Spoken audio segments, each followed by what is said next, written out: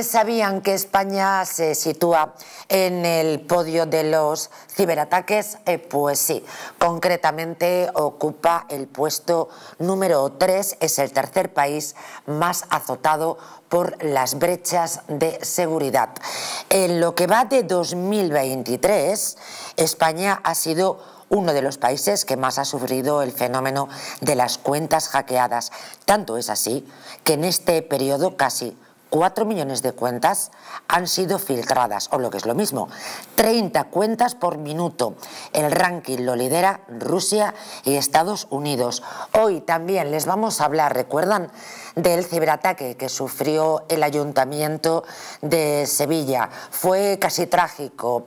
Eh, pedían eh, los ciberdelincuentes, en primer término, como 5 millones de euros por eh, devolver las cuentas hackeadas. Luego bajaron a un millón y medio. Naturalmente, el ayuntamiento no estaba dispuesto a pagar por tal cosa.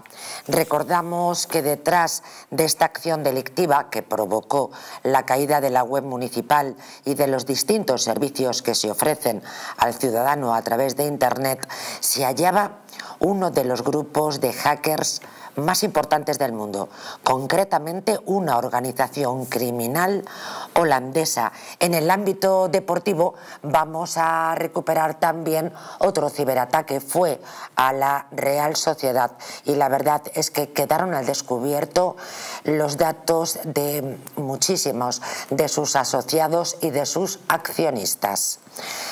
La afección eh, incluyó nombres, apellidos, números de DNI, direcciones de correo electrónico, direcciones de correo postal y números de teléfono.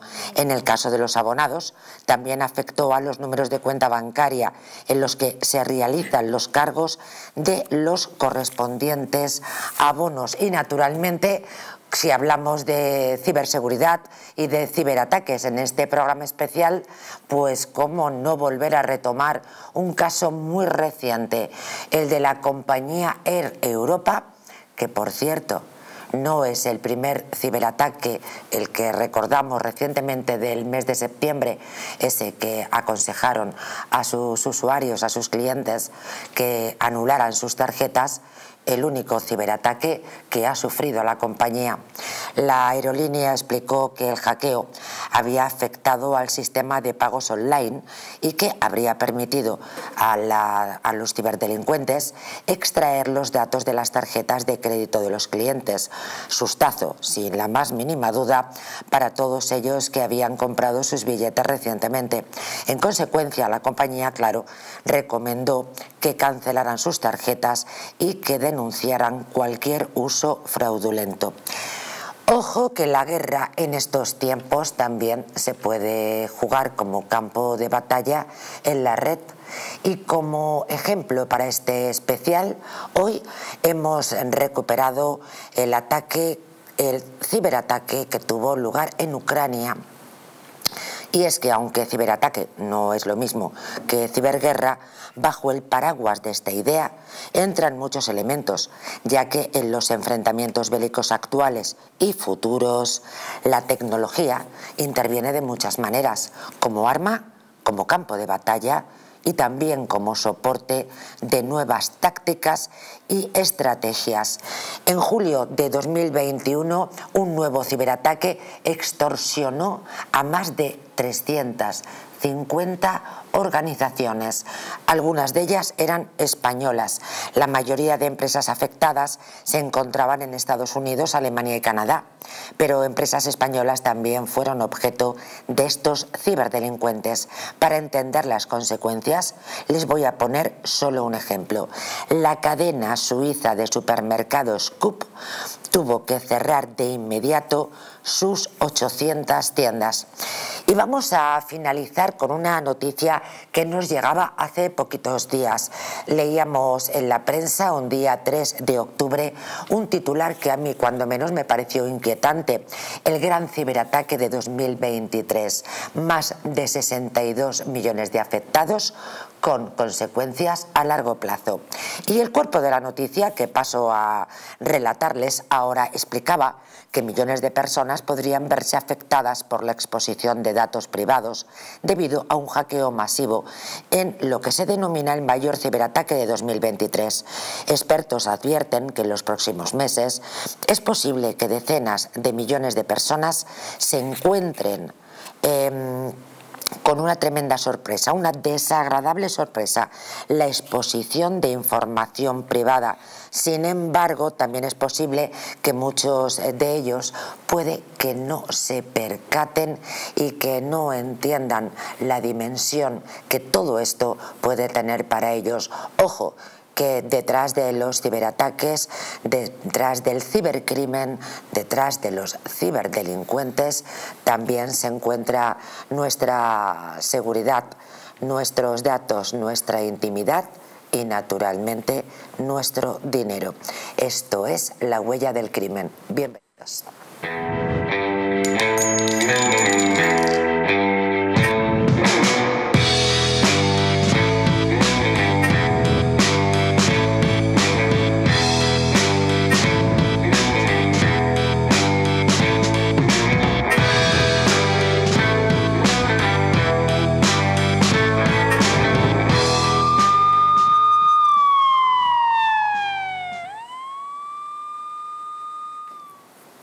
Menudo equipazo de colaboradores para este programa especial con el que nosotros finalizamos la semana en la huella del crimen. Paso inmediatamente a presentarles a muchos de nuestros colaboradores sobradamente conocidos en esta cadena. Gabriel Araujo, él es perito informático, secretario general de la Asociación Nacional de Peritos Judiciales Informáticos. Bienvenido. Gracias. ¿Qué tal, Gabriel? ¿Cómo estás? Eh, Serafín Giraldo, inspector de policía y portavoz de H50. Bienvenido. Muy buenas.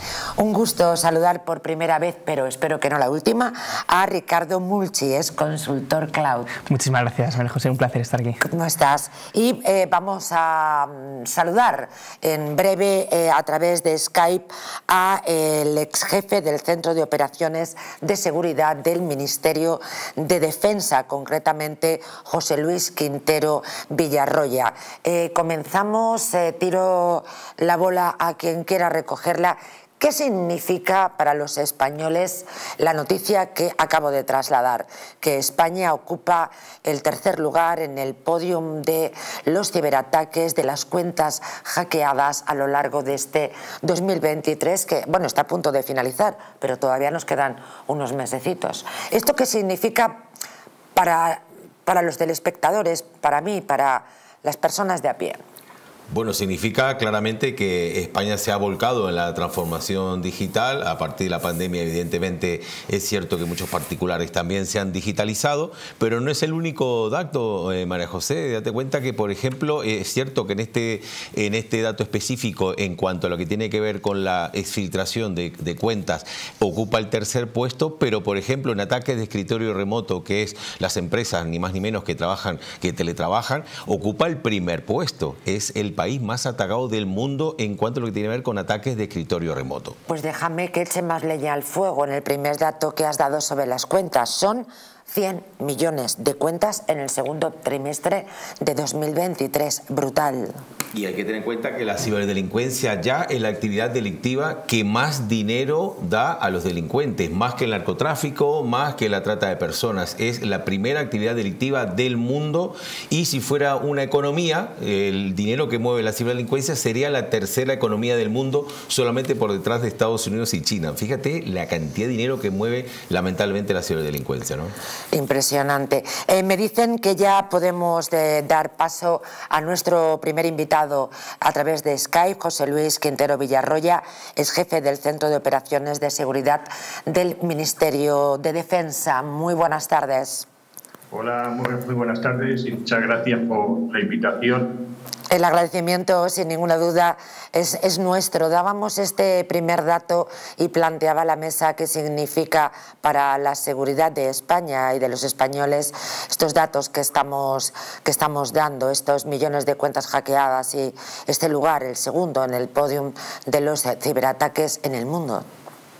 Sí, exactamente. Eh, si pasamos a los ya por lo donde incide eh, el nuevo. Estamos teniendo gravísimos, gravísimos problemas de sonido. Vamos a ver si, por favor, podemos solucionarlo. Eh, y retomamos enseguida. Nos resultaba difícil, ¿verdad?, escuchar a nuestro invitado. Serafín tomaba la palabra en este momento. Para la Policía Nacional, sin duda alguna, eh, estos ciberataques y estar en el cuarto puesto es sinónimo de reto. Además, es un reto muy duro que tenemos en los policías. Tercero. Tercero. Tercero. Peor me lo pones. Eh, es un reto y además es un reto muy duro y tremendo. Con decirte que este año, eh, creo que fue en febrero, se introdujo la última unidad de especialistas, especialistas en ciberdelincuencia, policías nacionales, y cuesta, eh, cuesta conseguir personal especialista en eh, ciberdelincuencia. Muchas veces las propias empresas tienen tanto o mejor especialistas que en la Policía Nacional. Nosotros yo creo que estamos a la altura. Lo que pasa es que es muy difícil combatir este delito, porque no es solo combatirlo en el terreno cibernético. Eh, pues yo doy el punto de vista policial. El problema es combatirlo en el terreno judicial. Porque cuando llegas al ciberdelincuente, que no deja de ser una persona física que se halla detrás de un ordenador, para que se me entienda, encuentras problemas judiciales para conseguir que esa persona deje de realizar esa actividad delictiva. Porque no es solo que el delito sea remoto, también esa persona está en remoto. Y a veces te encuentras esas personas en países, y hablo por ejemplo de las famosas estafas, en países hasta del tercer mundo y conseguir eh, que judicialmente esa persona responda en España por los delitos que comete, la verdad es que es tremendamente difícil. Con lo cual, dos problemas. Primero, la prevención y en segundo lugar, aunque lo prevengas, el problema judicial. Claro, la policía evidentemente puede rastrear porque mecanismos y medios eh, tenemos naturalmente. El problema es qué hacemos después con esta información y cuando ya hemos dado con los malos con los malos, pero en este caso virtuales, ¿no? Aquí yo lo que, lo que veo también es que, como ha dicho Gabriel, se está produciendo una transformación digital a, través de, a partir del COVID, pero en España está llegando más tarde que en los demás países de Europa. De hecho, una gran parte de, de, las empresas y también de la administración pública tienen los datos en sus propios data centers, ¿no? cuando al final todos cada vez se hacen más, más inteligentes ¿no? los ataques, eh, cada vez es más dinámico y hace falta al final una respuesta que esté en la nube, que sea capaz de, responder a tiempo real y sobre todo que conozca las amenazas según se van, se van produciendo. Entonces, este proceso ¿no? de transformación digital hacia, hacia una nube pública o privada en España se está realizando más lento que en otros países de Europa y yo creo que eso es una de las consecuencias eh, y una de las causas de que España pues, sea el tercer país con más ciberataques. Me indican eh, mis compañeros que ya hemos recuperado y con un sonido impecable a José Luis Quintero Villarroya. Ahora, ahora sí. Creo que, que le escuchamos con nitidez, José Luis. Hola, buenas tardes de nuevo. Buenas tardes, buenas tardes de nuevo. Estaba analizando efectivamente eh, ese significado que tiene para España, para los españoles y para nuestra seguridad, ese lugar que, que, ostenta España en este ranking de la ciberdelincuencia, del cibercrimen, del ciberdelito, ¿no? La tercera posición. Sí, sí, no, eh, estoy completamente de acuerdo con lo que ha dicho Gabriel. Estamos en un, mundo cada vez más digitalizado, estamos en un mundo interconectado y, lógicamente, cuanto más tecnología tenemos, más superficie de ataque vamos a exponernos y, por lo tanto, vamos a generar más, eh, más riesgo. Eh, la información es un activo crítico de, de, las empresas y entonces es el principal objetivo de los ciberdelincuentes. teniendo en cuenta que ya los delitos tecnológicos han, desbancado ya a los delitos tradicionales, ya sean los fraudes bancarios, la suplantación de identidad, los robos de información sensible de clientes, o que pueden llegar incluso a paralizar o a cerrar un negocio. El España, decíamos, es el tercer país más azotado como experto, como eh, enorme experto en defensa. ¿Qué previsión hace para España en los próximos tiempos? ¿Vamos a saber responder? ¿Vamos a poder realmente defendernos? Otro de los asuntos de los que vamos a hablar eh, a lo largo de este programa, José Luis, es eh, también cómo se, cómo se está jugando, cómo el campo de batalla también es la red en la ciberguerra, ¿no? ¿Qué papel va a jugar España? aquí en España tenemos una serie de organismos que están trabajando muy eh, con gran fuerza precisamente para combatir el ciberdelito o cualquier tipo de, eh, o incluso acciones de ciberguerra. Eh, contamos con el Centro Criptológico Nacional, dependiente del, Centro Nacional de Inteligencia, que sería responsable de todo lo correspondiente a, a ciberdelitos contra la administración pública. Por otro lado, tenemos a INCIBE, que serían los responsables el Instituto de, Ciberseguridad de España, que está ubicado en León, que sería responsable de todo lo relacionado con, con los ciberdelitos, eh, tanto para el ciudadano como para la empresa. Y luego también tendríamos el mando conjunto de ciberdefensa, pero que ya es muy exclusivo, y del espacio, que sería eh, ya más exclusivo para todo lo relativo al ámbito del Ministerio de Defensa.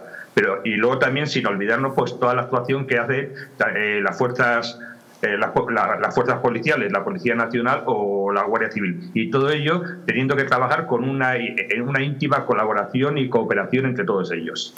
Claro, y además con la policía, porque normalmente en todos los eh, ciberataques que hemos documentado para para esta tarde, pues muchísimas de esas instituciones que ha mencionado trabajan codo con codo con la, con la policía. Hablaba, comentaba la mesa que España quizá se ha incorporado con más retraso y que después hemos cogido carrerilla eh, después de la pandemia, como en otras circunstancias. Eh, pero mm, de cara, de cara a futuro vamos a saber plantar cara a la ciberdelincuencia, a la ciberguerra. Vamos a tener una buena defensa, en su opinión, con una experiencia tan dilatada. Eh, se está trabajando en ello, se está trabajando mucho, se está invirtiendo precisamente eh, tanto en tecnología, tecnología de todo tipo, eh, esas, eh, muchas veces eh, cuando se sufre un ciberataque, muchas veces no sabemos cuál es la diferencia, si es un ciberdelito, que entonces ya correspondería a las fuerzas policiales de investigación, o si es un caso de ciberguerra, que ya correspondería tanto al Ministerio de Defensa o al Centro Criptológico Nacional. Pero se está trabajando con ello y lo que muchas veces nos, nos queda aquí pendiente, es uno de los deberes que tenemos aquí en España, es la concienciación y la formación del personal. Eh, el 95% de los, de los eh, eh, ciberataques que se producen es por un fallo humano. Invertimos mucho en tecnología, pero invertimos poco en, en personal, tanto en formarlos, en concienciarlos o en contratar personal experto precisamente para, para combatir esos ciberdelitos. Por tanto, mayor, mayor apoyo para los recursos humanos, no solamente los recursos técnicos. Nos quedamos con esta máxima de José Luis Quintero Villarroya que también vamos a someter a reflexión a lo largo de este programa. Muchísimas gracias por atender esta tarde la huella del crimen. Muchas gracias a vosotros. Un saludo. Gracias, buenas tardes. Fíjate, ¿no? Eh, recursos técnicos, pero sobre todo recursos humanos. Sí, ya lo comenté al principio. mi sí, esto efectivamente Correcto, es, enlazaba con, con, tu reflexión. Es la mayor dificultad. Yo, desde luego, y hablo no en nombre de la policía, sino en nombre de una organización que representa a parte de esa policía, eh, es cierto, pero desde luego se están encontrando. Eh, hablo solo, hablo solo del ciberdelito. Yo no puedo venir a hablar de algo que desconozco. Yo solo conozco los ciberdelitos. Yo no conozco los ataques a la seguridad nacional porque no los llevamos nosotros, en ese que los llevaría el INCIBE u otras instituciones como el CNI, pero nosotros solo los ciberdelitos. Con respecto a los ciberdelitos, sí que se ha avanzado mucho, muchísimo. Había una máxima eh, antes de, o hace un tiempo, que esto no se denuncia, que al final no se va no se va a conseguir nada. Bueno, pues esa máxima dentro de la Policía Nacional, dentro de la Guardia Civil, al final hemos conseguido hacer entender, o estamos intentando hacer entender a la gente, o al menos ese es mi mensaje, que conviene denunciar todos los ciberdelitos que sufran. Cuando hablo de ciberdelitos, hablo, por ejemplo, de pornografía infantil, hablo de estafas en red, o hablo de cualquier ciberdelito eh, más común que puedan eh, recibir. ¿Por qué? Porque se ha creado una aplicación, se ha creado ahí en el Escorial, eh, una aplicación que se llama Orión, que nos ha permitido a partir de todas las denuncias que recibimos, clasificarlas. Y desde luego ha sido para nosotros una base importante de cara a la investigación de estos eh, cibercrímenes. ¿Por qué? Porque al final un señor o un grupo o una organización criminal detrás del ordenador son los que cometen muchísimos de los delitos que se denuncian o no se denuncian. Y llegar a esa organización con esta, eh, con esta eh, máquina, con esta herramienta de trabajo que tenemos, nos ha sido más fácil. Por tanto, el mensaje que tengo que dar para combatir este ciberdelito es que la gente, en principio, que lo sufre, denuncie. Eh, Araujo, ¿crees que tenemos claro que es un ciberdelito? Porque mm, de pronto Serafín acaba de, decir algo importantísimo. Claro que, claro, claro que vale denunciar. Y vale tanto denunciar como que a través de nuestras denuncias no solamente estamos trabajando en nuestro favor, sino también estamos trabajando en el favor colectivo, como acaba de decir el, portavoz de la policía. Pero ¿sabemos lo que es un ciberdelito? ¿Qué es lo que tenemos que denunciar?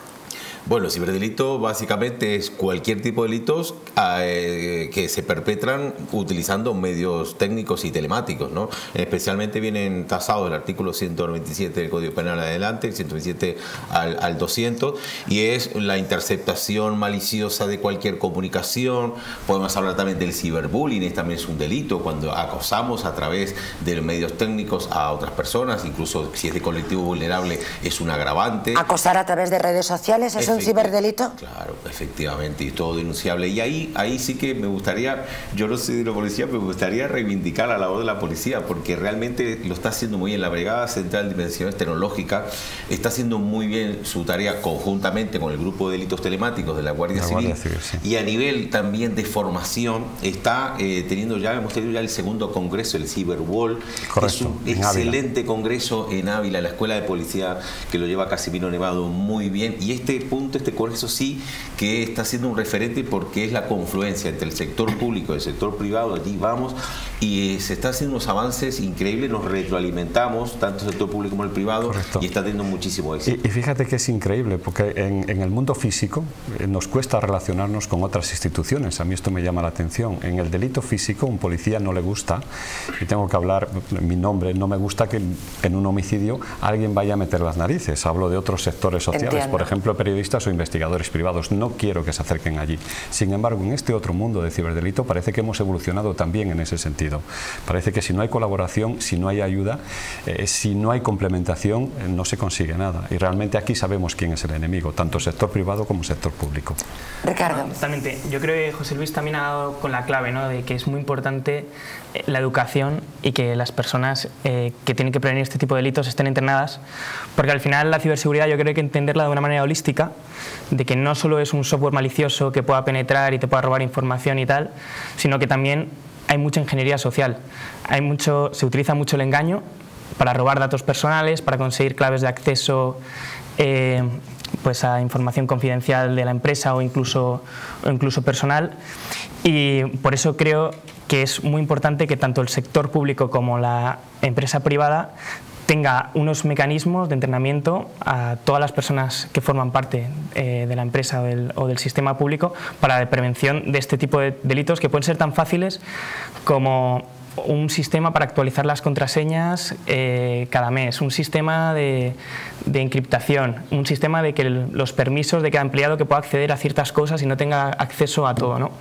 Que son cosas que son bastante sencillas si se planifican de manera central y, y como has comentado, de manera que involucre a varios equipos y no solo, no solo a uno. Y tenemos un problema también, y es que eh, normalmente la tecnología va mucho más rápido que la legislación. Entonces surgen todos los días nuevos delitos ante los cuales realmente no tenemos el Código Penal una respuesta. Por ejemplo, el caso de las menores eh, eh, emuladas a través de inteligencia artificial, que se interpretó eso realmente, que era claro, que eran, sabían eso es, un ciber, eso es un ciberdelito. Claro, pero ¿qué encaje tiene el Código Penal eso? Porque la inteligencia artificial realmente no no es un ente jurídico. ¿Quién es el responsable? Pero eso tiene mucho que ver con lo que ha dicho Serafín. La policía actúa y el problema es después cuando eh, interviene la justicia. en este caso, incluso para calificar el delito, había problemas. Es, lo que dices. Al final, me parece que entró por un delito contra la intimidad, un 197 creo que entró. Claro, exactamente, pero, no, pero luego, un 197 revelación de Yo creo que entró por un 197 al final, por lo que dijeron. ¿Cuál es el 197 que habláis como si todo el mundo entendiéramos? No, revelación de, datos. revelación no, de datos. no integridad. Yo no sé si entró como integridad moral o como revelación de datos. No recuerdo muy bien cuál fue la calificación que se hizo en, aquel momento. Bueno, porque se utilizó la cara de las niñas de manera maliciosa. Correcto, Entonces, esta es la, utilización de datos de manera maliciosa. Entonces, ese es el encaje que ha tenido. Claro, porque... Lo que amerita es que realmente tenemos que profundizar. De hecho, estamos eh, realmente nosotros eh, exigiendo una regulación en el tema de la inteligencia artificial precisamente para eso, para ser responsables a los desarrolladores y que puedan brindar de herramientas para que podamos detectar esto como delito. Menudo temazo la inteligencia artificial, de ella nos ocuparemos también en la huella del crimen. sí, por favor. No, iba, eh, que seguro que Gabriel esto lo domina, lo domina mejor que yo, pero yo había escuchado que todo contenido que se generase a partir de inteligencia artificial, tanto vídeos como textos, no pertenecían a la persona que la había creado, sino que estaba como un ente así independiente. Yo creo que eso igual puede ser uno de los problemas. Eso, ¿no? Para... eso es lo que respecta a, propiedad intelectual. A propiedad intelectual. Sí, sí. Aquí se mezclaba la, eh, integridad moral, porque de alguna manera se despreciaba a la persona, se utilizaba la parte de su cuerpo y se le atentaba contra su integridad moral al presentarla, sin ser su cuerpo, pero presentarla desnuda. Que de alguna manera eh, ese impacto o ese caso, eh, yo además lo vi en debates, tuve que participar en alguno, te quedabas un poco sorprendido y dices, ¿cómo califico yo esto? ¿Cómo califico yo esto? Tendré que llamar a algún juez para que me eche una mano. O sea, va adelante el delito antes que la, legislación. Eso es cierto. No obstante, yo hace cuatro años que ya venía advirtiendo de esto. Hay ahora un vídeo eh, haciéndose viral de una charla mía en el Consejo General de la Abogacía Española hace cuatro años diciendo cuidado con esto que nos va a venir ya los deepfakes y no tenemos ninguna herramienta jurídica que nos, que nos defienda. ¿no? Entonces, bueno, lamentablemente ahí no nos, los, legisladores no nos han hecho caso y bueno, eh, esperemos que a partir de ahora si esto se ponga ya, esté o sea objeto de debate jurídico y podamos tener más seguridad jurídica. Y seguimos utilizando el tronco viejo para los nuevos delitos, el delito de estafa. España somos un país de estampita y tocomocho. En los años 70, los años 80, además hay muchas películas buenísimas de señor Y anteriores también. Y anteriores, Las de Paco Martín, de, Soria, son fabulosas. Correcto. Pues fíjate, se ha reformado, no se ha hecho un artículo nuevo, sino que se ha reformado, se ha introducido dentro del 248, que es el delito de estafa, las estafas cibernéticas. Parece que nos da miedo evolucionar y crear un nuevo, eh, nuevos artículos, un nuevo código penal, reformarlo y decir, mira, estamos viviendo una nueva era. Yo creo que estamos empezando un poco en ese sentido. Y las estafas ahora mismo se producen más estafas a, través cibernéticas, más ciberdelitos de estafa que estafas reales, porque todo el mundo sabe lo que es una estampita y lo que es el tocomocho. Pero, y ahora vamos a tener una campaña en Navidad, vuelta otra vez con, con eh, los ciberdelitos ahora mismo. Y además este tipo de delitos, eh, los delitos de estafa son cíclicos por campañas. La campaña de la renta, ahora tendremos otra campaña de venta de, billetes de lotería y demás. O sea, es, cíclico, pero sin embargo nos cuesta dentro del Código Penal. correcto, nos cuesta dentro del Código Penal hacer una nueva articulación para este tipo de actividad delictiva. No, totalmente. La verdad es que tampoco tengo mucho que añadir sobre esto. Hay una carrera ahora mismo entre entre la tecnología y la innovación. Es que se ha formado la tormenta perfecta, porque ahora estamos en un momento de máxima innovación, además ahora que han sacado lo de la I generativa y demás, que son capaces de crear software un 10 veces más rápido de lo que era posible antes. 10 veces. Y también software maliciosos, porque los software pueden usarse para cosas buenas, pero para cosas malas. Entonces esto va rapidísimo y la legalidad va muy lenta. Entonces, a lo mejor en el derecho sajón, que trabajan más con casos de uso concreto, puede responder más rápido, pero en el derecho continental, que es el que tenemos en España, pues le va a costar.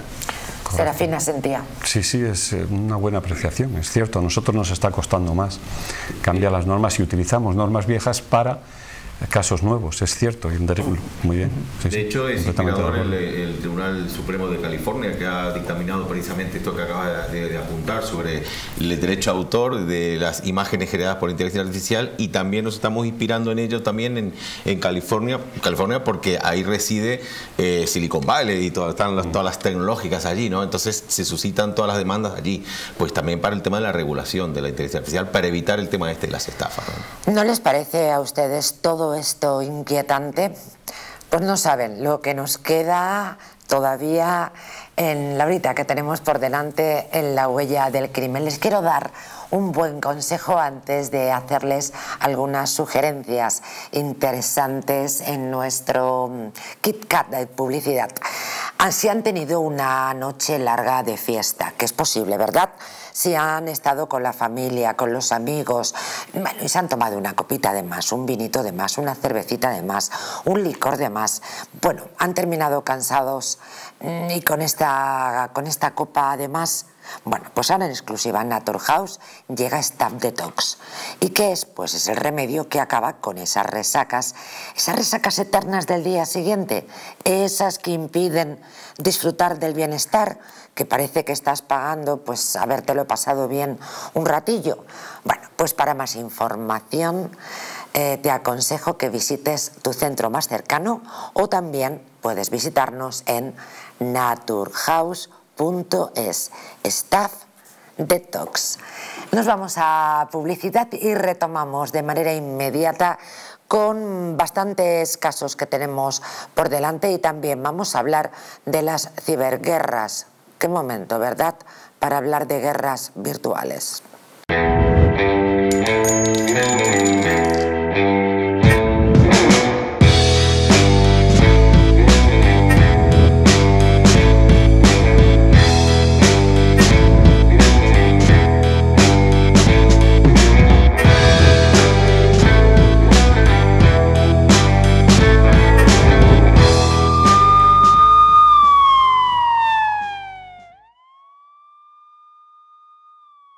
Los cajones de su cocina llenos de cuchillos pero ninguno de ellos corta como debería?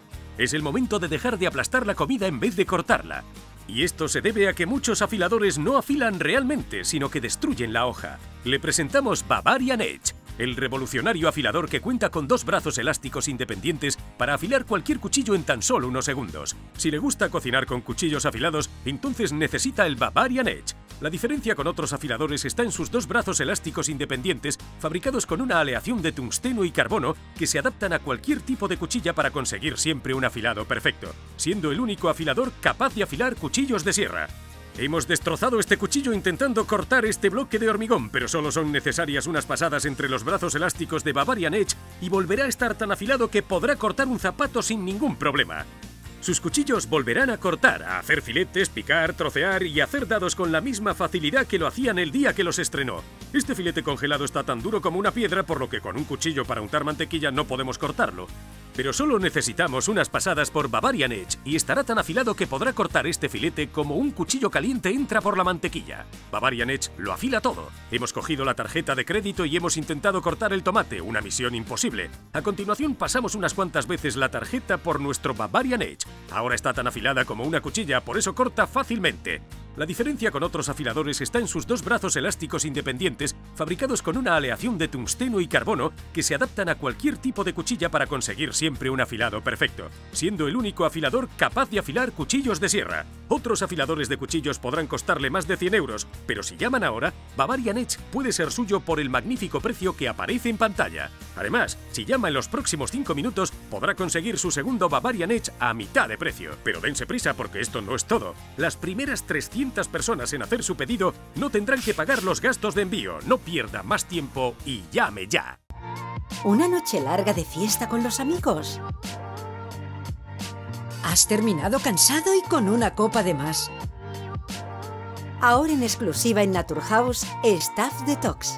El remedio que acaba con esas resacas eternas del día siguiente. Acércate a tu tienda más cercana o visita naturhaus.es. ¿Quieres proteger tu sistema inmunitario de la gripe, COVID y otras enfermedades? Inmunad Z es un complemento elaborado con zinc y base de vitaminas C1, B6 y D3 que permiten aumentar las defensas y mejorar las respuestas del sistema inmunitario. Además, posee antioxidantes que reducen el envejecimiento y mejoran el estado de ánimo. Con Inmunad Z, las defensas al poder. Acércate a tu tienda más cercana o visita la web naturhaus.es. Hotel Las Dunas, un lugar mágico en el corazón de la Costa del Sol. En primera línea de mar, situado en un oasis de armonía, tranquilidad enfocado en la salud y bienestar de nuestros huéspedes. Desconecta del estrés y la monotonía del día a día. Estancias con programas exclusivos y personalizados de salud, rejuvenecimiento y control del peso. Elegancia y bienestar junto al mar sin renunciar a la actividad y la vida saludable. Descubre las Dunas Hotel Health and Spa, el más exclusivo de toda la Costa del Sol.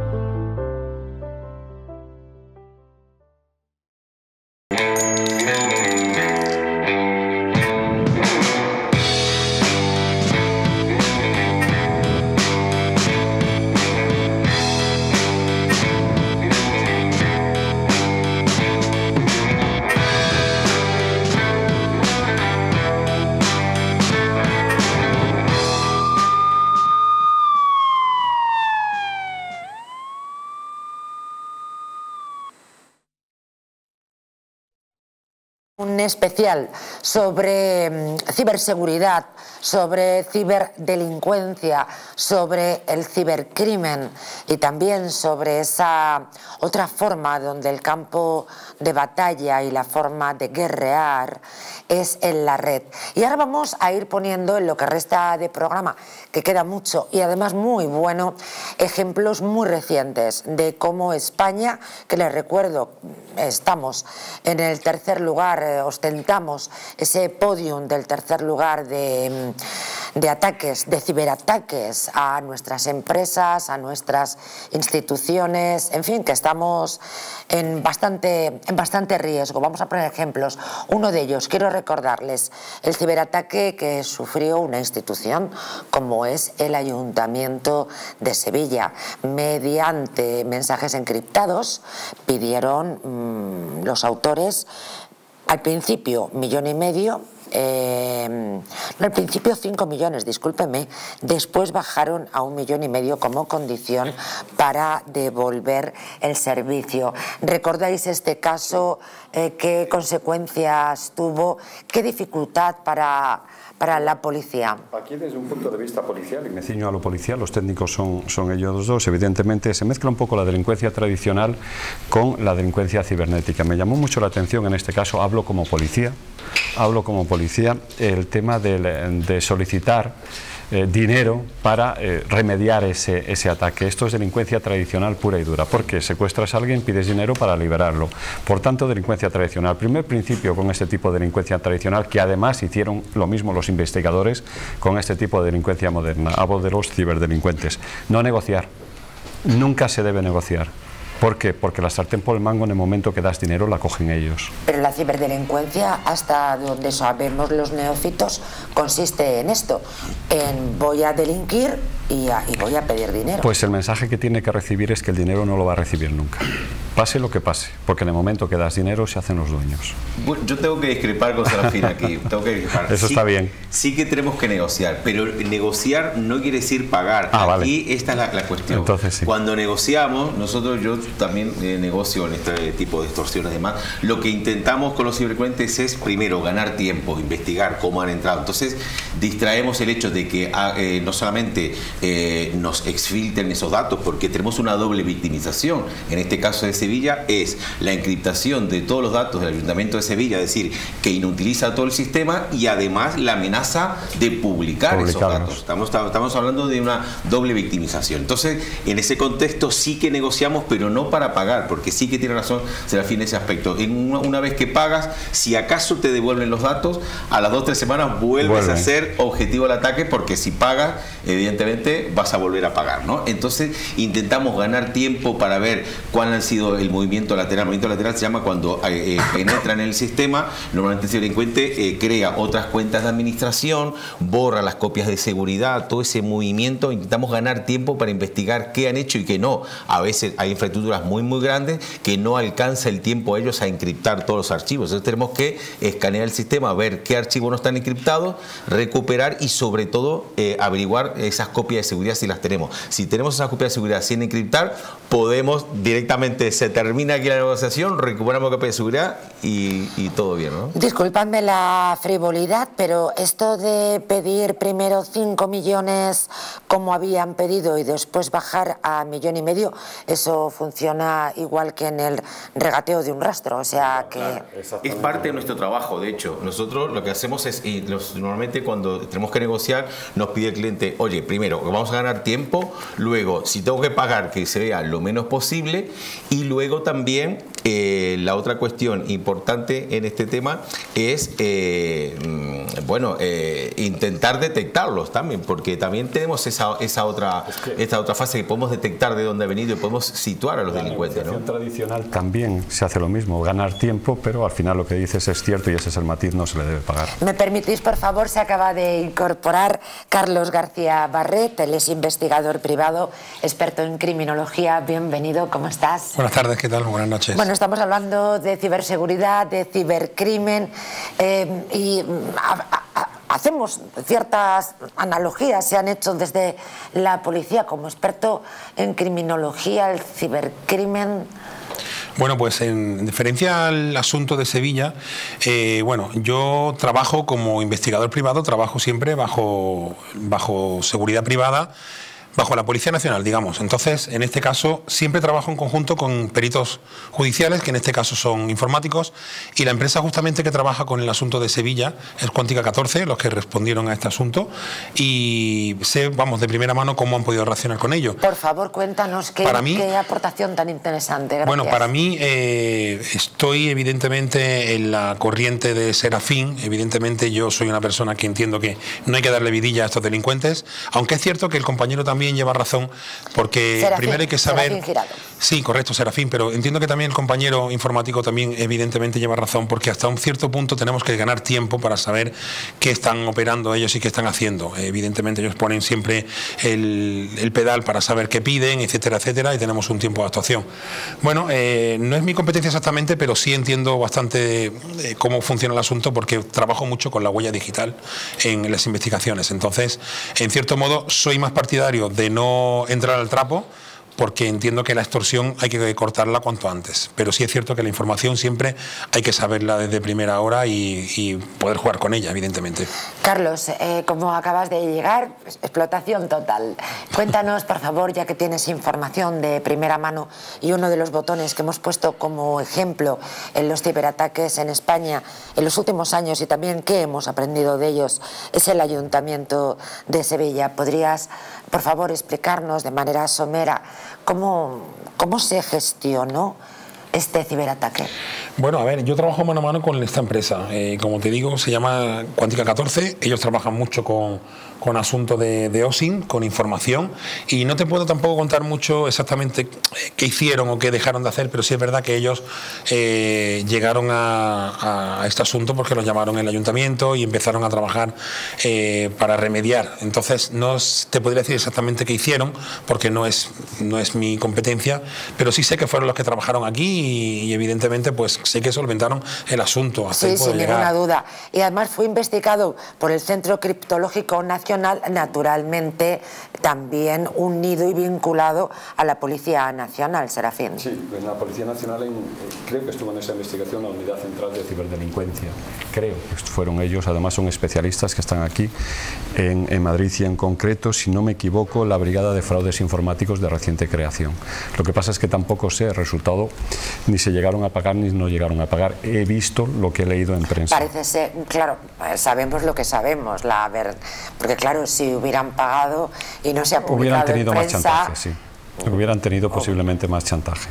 Pero vuelvo a incidir, el principio policial y además en todo tipo de negociación, no solo hablo de negociación cibernética, sino de negociación física también, efectivamente es ganar tiempo, efectivamente saber con quién estás, es ganar información, pero nunca ceder al chantaje. Y durante todo... Y, si hay chantaje, que sea controlado. Claro, y durante, durante, todo este tiempo quería decir que naturalmente todo esto hay unas consecuencias que no solamente tienen que ver con el dinero, sino también con los servicios que naturalmente el Ayuntamiento de Sevilla no pudo prestar a sus ciudadanos durante un tiempo bastante largo, que probablemente alteró la vida de muchos de estos ciudadanos. Sí, estuvieron trabajando con los mapas en papel otra vez, estuvieron con los servicios de emergencia, volvieron a poner sobre la pizarra los papeles con chinchetas donde estaban estos cuerpos para intentar eso, eh, llevar esos servicios. ¿no? Otra de las cosas que quería decir con el tema de la asociación, lo que ganamos también son pruebas. Nosotros exigimos alguna prueba de que efectivamente tienen ese archivo original y le preguntamos normalmente cuál es el archivo más importante que hayan encriptado. Normalmente lo que intentamos con la prueba, eh, la famosa, digamos, el equivalente de prueba de vida que se hace en los rescates, pues en este caso pedimos un archivo, el más importante, para poder recuperarlo. Oye, mira, el más importante ya lo tenemos, porque tienen que dar, y, decimos cuál es este, porque para asegurarnos realmente, yo no sé si tú me has encriptado o no, tú te has puesto en contacto conmigo, dame una prueba de que realmente tú tienes la clave de desencriptación de los archivos. Entonces ya pedimos el archivo más importante, ¿no? Sí, en este caso además eh, podríamos extrapolarlo a la empresa. Esta es una, el ayuntamiento, vamos a catalogarlo como empresa pública. Yo creo que y tú eres experto en, la empresa, privada. Puede ser incluso peor. O sea, yo creo que aquí la clave, primero de todo, es una cosa obvia, es la prevención, porque una vez llegados al, al punto de que te han encriptado los datos y te están chantajeando, el mal ya está hecho. Primero un daño reputacional enorme y luego hay que analizar también el alcance del ataque, porque si bien es verdad que te han podido encriptar y te están amenazando con hacer públicos o con destruir unos datos que son recuperables o que los tienes en el backup, por eso de ganar tiempo y tal, pero hay otras veces, y le ha pasado también a otras empresas privadas, que encriptan datos que son claves para el funcionamiento de la empresa y que son totalmente irrecuperables. Y que sin esos datos la empresa se va a pique cierran, no, no puede funcionar más. Y ha habido muchos casos. Serafín Giraldo eh, nos ha alertado y nos ha eh, explicado la importancia que tenemos como ciudadanos para, a la hora de denunciar. Mm, no solamente eh, vamos a ganar en lo personal, sino también en lo colectivo. Bien, las instituciones también denuncian. Ustedes bien saben, un ciberataque que se detectó en el día de ayer, en principio se detectó eh, un problema en el sistema informático de todo el ayuntamiento. Creíamos que podía ser una avería, como suele ocurrir en estos asuntos, pero al analizar el problema nos dimos cuenta que no era una avería, que no se habían caído, como se suele decir, los equipos informáticos, sino que había habido un ciberataque al sistema informático del ayuntamiento de Sevilla. Inmediatamente, como se pueden imaginar, se empezaron a tomar decisiones, se empezaron a tomar decisiones. En primer lugar, se suspendieron, se suspendieron todos los equipos informáticos por precaución y por cautela de todo el ayuntamiento de servicio. Eso es lo primero que hay que hacer para que el problema no vaya más. Y se constituyó inmediatamente un grupo de trabajo para analizar y para eh, empezar a trabajar sobre esta situación crítica. Parece que detrás estaba uno de los grupos de hackers más potentes del mundo, un grupo holandés, ¿no? Sí, precisamente lo que apuntaba este señor, que, es el subdirector, eh, esta misma mañana el Pleno del Ayuntamiento de Sevilla aprobó precisamente lo que estaba pidiendo este personaje, me llama José Manuel, que es precisamente para implementar un sistema administrativo alternativo al digital, por si acaso vuelve a ocurrir esto, que no les pille otra vez con el tema de los mapas en papel. Porque además nos ha llamado la, atención profundamente que en un principio, naturalmente, ellos no sospechaban que iban a sufrir un ciberataque, sino que pensaban como empresa que estaban teniendo pues algún tipo de, problema, de avería, de... Bueno, pues se nos cae el sistema informático. Esto, quiero decir, se ha convertido ya en parte de, nuestra terminología habitual, ¿no? ¿Y cómo afecta esto a la empresa? Totalmente, o sea, como, como he comentado antes, eh, lo más importante es la prevención y tiene que haber un sistema que esté todo el rato monitorizando los logs, que bots están intentando acceder a, a tu página o a qué sistemas para poder prevenirlo, prevenirlo a tiempo, porque si no lo que pasa es que no te enteras hasta que es demasiado tarde, no te enteras hasta que te está llamando el hacker para pedirte bitcoins. Y ese es el, es el drama. En el ámbito deportivo vamos a rescatar, porque naturalmente también los ciberataques tienen mucho, tienen mucho que ver con grandes equipos y con instituciones deportivas. Hoy rescatamos el que sufrió la Real Sociedad, que afectó a datos eh, personales de abonados y también de accionistas. Eh, la verdad es que fue tremendo porque esta afección incluyó nombres, apellidos, números de DNI, direcciones de correo electrónico, direcciones de correo postal y también números de teléfono. En el caso de los abonados, también incluye los números de cuenta bancaria en los que se realizan los cargos de los correspondientes abonos. Bueno, mm, absolutamente inesperado y aquí no solamente como en el anterior caso paga el ayuntamiento, sino que, caray, cuántas personas no se ven afectadas. Datos de cuenta bancaria y datos de DNI.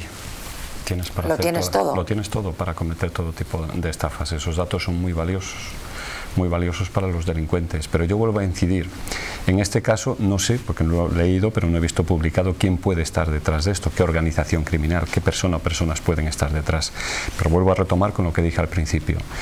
No tenemos legislación para acabar con ellos, porque aunque demos con ellos, si están en otro país, olvídate, han cometido un delito en España, están en un país de tercer mundo o del primer mundo. Ya tienes que andar con comisiones rogatorias y es muy difícil, muy difícil que aunque des con estas personas, puedas emplear una jurisdicción, no sé de qué país, porque yo realmente no sé si es de país de origen, país de destino, realmente no tenemos legislación. Han avanzado más que nosotros y la legislación ni siquiera la tenemos preparada para perseguir este tipo de delitos. Hablo a nivel internacional. Por, por, por centrar, ya que naturalmente también la terminología, ¿verdad?, nos resulta ajena. Hablamos de, de un ciberataque como, por ejemplo, este que hemos rescatado de la Real Sociedad por haber quedado expuestos datos tan íntimos, ¿no?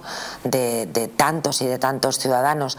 ¿Cómo sucede? Bueno, sucede porque ese ciberataque tiene que ver con los servicios informáticos que afectaron a distintos servidores, en los que el club naturalmente pues almacenaba esos datos identificativos. Por, por pues, hacer un poquito el camino, ¿no? Como pulgarcito dejar las, las, las piedrecitas para que todos lo podamos, los podamos entender mejor, los que no somos expertos. De hecho, nos consta que, también en el País Vasco las eh, eh, entidades bancarias también han recibido ese ataque. Lo que pasa que, lógicamente, las contramedidas que tienen eh, las entidades bancarias son mucho más poderosas y, lógicamente, no han podido. Por tanto, podemos inferir que aquí no ha sido un ataque específico, en este caso, a este club de la Real Sociedad, sino son ataques a servidores que intenta sacar lo que sea. ¿Cuál es el problema que tenemos en este caso, María José? Es que todos esos datos personales van a servir para hacer estafas de phishing completamente personalizada. El phishing, recordemos, son esos enlaces maliciosos que nos llegan a través de email o a través de SMS para que demos y eh, lleguemos a una página falsa y, e ingresemos ahí nuestros datos. Ya los datos bancarios los tienen. ¿Qué le faltan? Los datos de la tarjeta de crédito, porque los datos bancarios realmente per se no significan realmente una, eh, no son datos como que se pueda estafar. Sin embargo, sí eh, que las tarjetas bancarias, sí. Entonces, a través de nuestros datos bancarios se pone en contacto una página falsa de nuestra entidad bancaria con nuestro nombre, apellido y DNI, nos lleva a esa página falsa, introducimos ahí nuestros datos de contraseña, de acceso y ya le estamos dando a los delincuentes acceso a nuestra aplicación bancaria. Carlos García Barret, como experto en criminología, con todos estos datos eh, expuestos a, plena luz, una, la verdad es que piensa que pocas cosas suceden. Bueno, a ver, la mayoría de las veces que ha llamado algún cliente al despacho para algún tema de estafa, suele ser eh, de países africanos, por ejemplo, como Nigeria, etcétera, ¿no? Eso bien lo sabrán los compañeros y prácticamente es imposible, porque como decía Serafín, eh, llega un momento que estando en el extranjero no llegamos a buen puerto, entonces no prospera. Evidentemente se salen con la suya y, poder denunciar se puede denunciar, pero no llegamos a, buen puerto. O sea, es muy, muy difícil. Buscar información, se puede conseguir algo de información, pero no llegamos a buscar una solución porque prácticamente es imposible una vez que están estafados. Y evidentemente la, moneda prácticamente suele ser el Bitcoin y si pagas con euros prácticamente es igual. O sea, no tenemos, no tenemos una solución realmente sobre la mesa para poder aportar al cliente, pero sí es cierto que hay muchísimas estafas, sobre todo en plataformas de redes sociales como Facebook, eh, bueno, eh, la mayoría que tienen una especie de mercado interior, interno, que lo que hacen es venderte el producto de segunda mano, Wallapop, etcétera, y ahí no hay mucho que, que se pueda hacer, la verdad. Eh, luego finalizaremos el programa con el mayor ciberataque eh, de 2023, que les decía que era un titular inquietante, pero de alguna manera el resumen quizá de ese, de ese último asunto con el que vamos a cerrar la huella del crimen es que muchas veces los usuarios, los ciudadanos, no somos conscientes. No somos conscientes de lo que pueden hacer con nosotros o no, no somos conscientes de lo que ya están haciendo o pueden hacer en un futuro porque tienen nuestros datos, pero nosotros no lo sabemos. Eso es lo que me parece inquietante. Sí, hay que tener esas, esos cuidados de cambiar las contraseñas eh, normalmente. Todos los años la contraseña más usada en España sigue siendo 1, 2, 3, 4, 5, 6. ¿En serio? Y, la segunda 1, 2, 3, 4, 6, 7 y 8. estas son las contraseñas que año tras año son más utilizadas en España.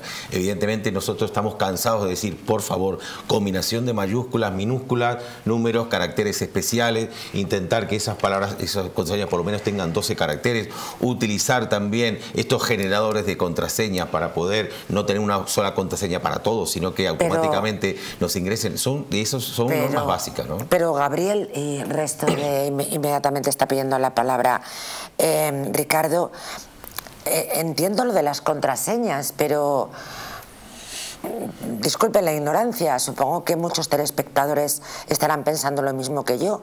De acuerdo, cambiamos las contraseñas, pero si soy socia de un club o me he comprado un billete de avión para mm, ir a cualquier lugar y de pronto hackean a la empresa, para qué voy a cambiar yo las contraseñas?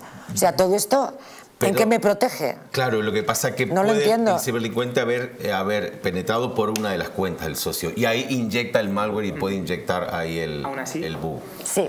Yo creo que las empresas tienen muchísima responsabilidad sobre cómo tratan los datos del cliente y sobre todo los datos sensibles. Los datos sensibles, por ejemplo, la dirección, el nombre y apellido del cliente, el número de cuenta, lo que sea, eso debería estar encriptado y la empresa debería ser dueña de las, de las claves o tener un third party provider que guarde sus claves de encriptación. De manera que si roban esa información, al final sí, están robando información, pero no, no, pueden interpretarla porque está encriptada y tardarían muchos años en conseguir eh, desencriptarla.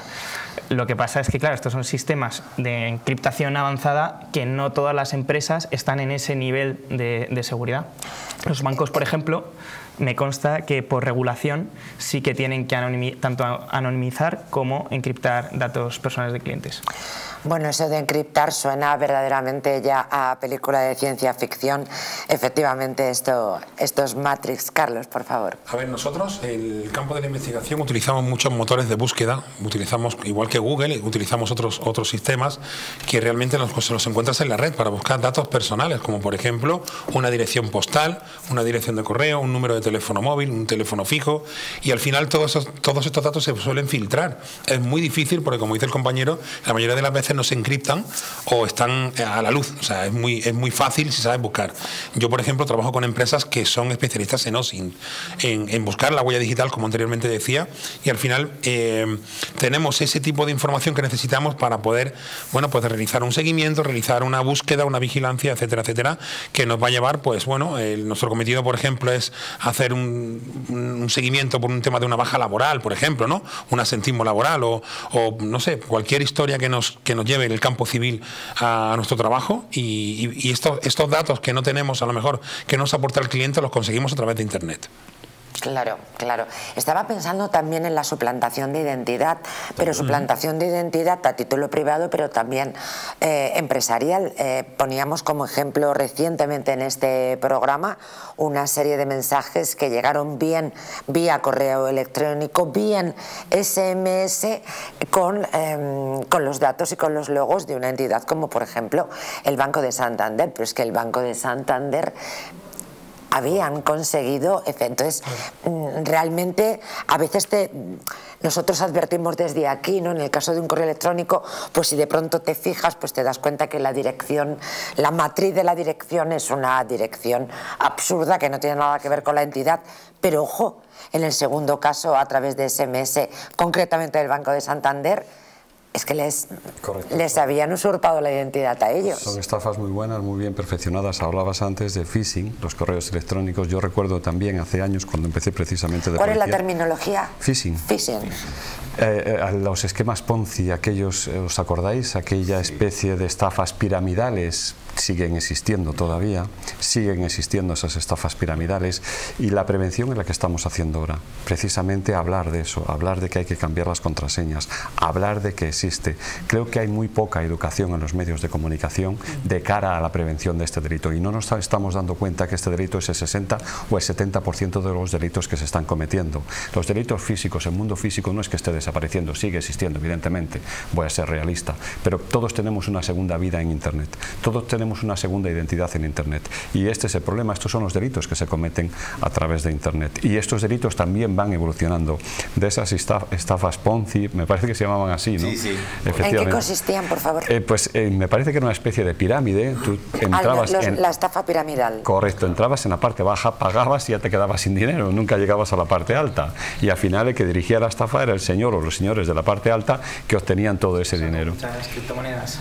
También. Lo que pasa con muchas criptomonedas. Correcto, correcto. Y, Otro ciberdelito eh, vinculado a esta Que no tenía regulación en Europa y por eso se permitía era el salvaje oeste. Y hay una, yo no sé si traerla a esta mesa porque a lo mejor no se refiere mucho al tema, pero estos influencers financieros, no sé si que se hacen pasar por, grandes conocedores, grandes mesías y gestores del dinero, también. Hombre, es un ciberdelincuente, una también persona, yo lo considero un ciberdelincuente a esa persona que se mueve a través de. Yo creo que hay que verlo. Un ciberdelincuente está actuando caso por caso porque una cosa es que alguien dé la recomendación de qué invertir dentro del mundo de las criptomonedas no por internet y otra cosa es que el influencer sea socio del que ha creado la criptomoneda, que diga que va a ir a las nubes para que todos sus seguidores la compren y luego ellos venden, se hunde y todos han perdido su dinero menos ellos que se han hecho ricos. Pero creo que Serafín se refería más o menos a esta idea, ¿no? Sí, más o menos a, Pues es un ciberdelincuente con, vamos, de, libro. en este caso sí. En este caso sí, ¿verdad, la Ricardo? de los asesores lo que hacen es recomendarte esa moneda para que tú vayas por ahí, te lo explican, te lo maquillan muy bien para que realmente luego tú inviertas ahí tu dinero y hagas esa conversión para que caigas. Afortunadamente tenemos un nombre también en el aspecto de ciberseguridad de este denominador como se llama ingeniería social. Son mm. ataques de ingeniería social, son engaños, gente que es muy especializada en engañar y sobre todo te apura a la hora de dar el enlace. Ah, Oye, entra ya porque te va a, cerrar la cuenta, por ejemplo, de Netflix. Eh, eh, la estafa que más éxito tiene últimamente es la de Netflix, la cual dice que tienes que actualizar tus datos, te lleva a esa página falsa, luego pones ahí los datos bancarios y de tarjeta y luego al dar a entrar te lleva a la página original de Netflix. Entonces, claro, tú no te has dado cuenta, dices, ah, vale, perfecto, he actualizado mis datos, estoy en la página de Netflix porque tengo las series que he visto, las películas y tal. Entonces luego hasta el siguiente mes normalmente no te enteras. Y esta es la ingeniería social, es meterte prisa, cuidado que vas a perder la, esto, que vas a perder el, paquete de correos, el tema bancario y todo eso. ¿no? O te vamos a cerrar la cuenta porque necesitamos saber si efectivamente estos son tus datos y si no en dos horas te quedas sin cuenta. Es para no, darte tiempo a pensar, ¿no? Y la, estafa del, hijo en, apuros, que por cierto la Guardia Civil ha dado con ellos, los ha detenido la semana pasada. Ahora nos lo cuenta Serafín, si te parece bien, porque nos damos a un corte publicitario con sugerencias muy interesantes, pero antes, en este mundo en el que vivimos, que nos hace envejecer a pasos agigantados, yo tengo por ahí una ayudilla, se llama Colacel Antiox.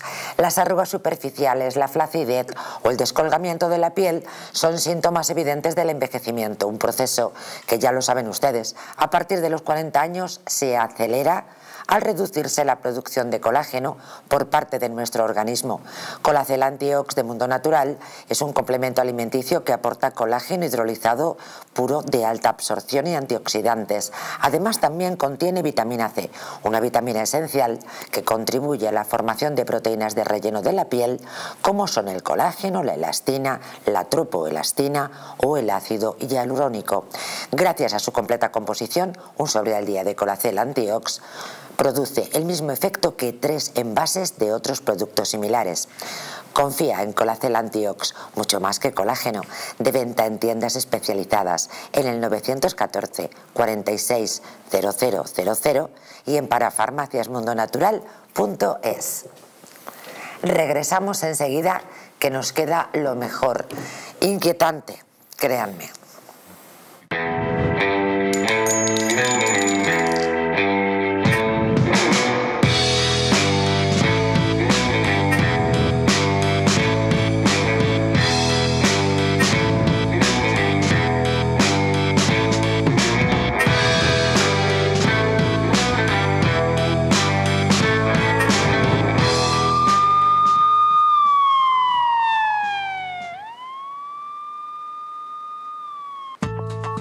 Presencia del colágeno en la composición de huesos, piel, ligamentos, cartílagos y tendones es imprescindible para frenar su deterioro.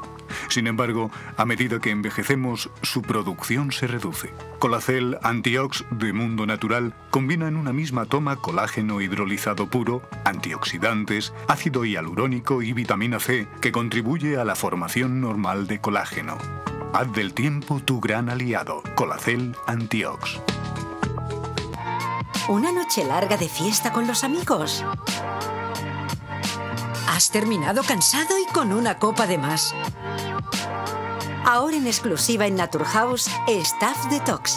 El remedio que acaba con esas resacas eternas del día siguiente. Acércate a tu tienda más cercana o visita naturhaus.es. Naturhaus es el mejor método para perder peso de forma saludable y sin pasar hambre. Desde la primera visita, una asesora te enseñará a cambiar tus hábitos hasta alcanzar tu peso perfecto. Lo conseguirás gracias a complementos alimenticios a base de extractos naturales y platos deliciosos. Apúntate ya en tu centro Naturhaus más cercano y online a través de naturhaus.es.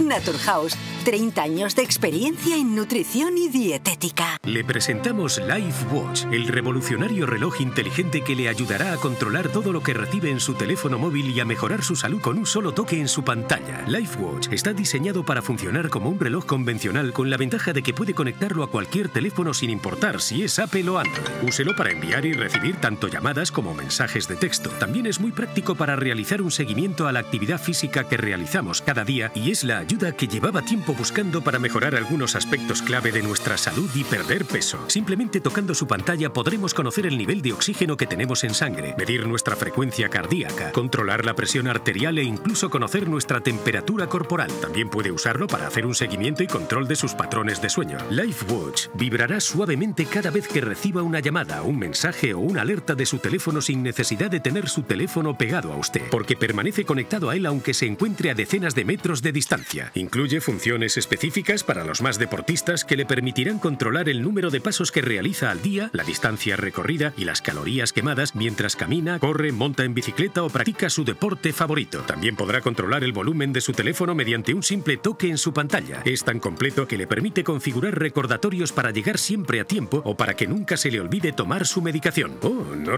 recuerda dónde dejó el teléfono? Con LifeWatch no tendrá problemas para recuperarlo. Además, incluye una batería con una autonomía para 7 días. Compara eso con cualquier otro reloj y verán cómo dura mucho menos con carga. Con LifeWatch podrá estar siempre conectado independientemente de si se encuentra en la ducha o en la piscina. Pero no solo eso, también incorpora una linterna para que en cada momento sepa dónde pisa. Llame ahora al teléfono que aparece en su televisor y podrá conseguir este magnífico reloj a un precio sin competencia. Pero espere, que esto no es todo. Las 300 primeras personas en hacer su pedido no tendrán que pagar gastos de envío. Ha oído bien, si se da mucha prisa, el envío puede salirle completamente gratis. Así que no pierdan más tiempo y llamen ya, porque esta oferta es exclusiva para la televisión.